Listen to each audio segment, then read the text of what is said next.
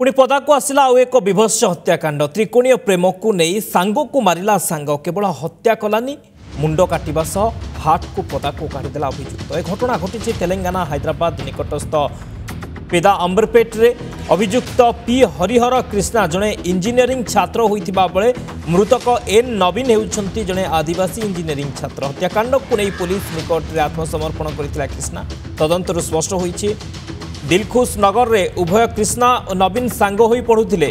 ତେବେ ଜଣେ ଝିଅ ସହ ନବୀନର ସମ୍ପର୍କ ବଢ଼ିଥିଲା ମାତ୍ର ପରେ ସେହି ଝିଅ ସହ କ୍ରିଷ୍ଣାର ସମ୍ପର୍କ ହୋଇଥିଲା।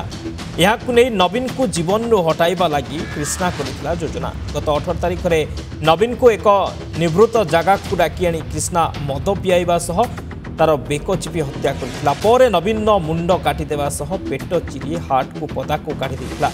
ଏହାସହ ନବୀନର ଗୁପ୍ତାଙ୍ଗ ଓ ଅଙ୍ଗୁଳିକୁ ବି କାଟି ଦେଇଥିଲା ନବୀନ ନିଖୋଜ ହେବା ପରେ ପରିବାର ପକ୍ଷରୁ ଏତଲା ଦିଆଯାଇଥିଲା ପରେ ଥାନା ନିକଟରେ ଆତ୍ମସମର୍ପଣ କରି ଭୁଲ ସ୍ୱୀକାର କରିଥିଲା କ୍ରିଷ୍ଣା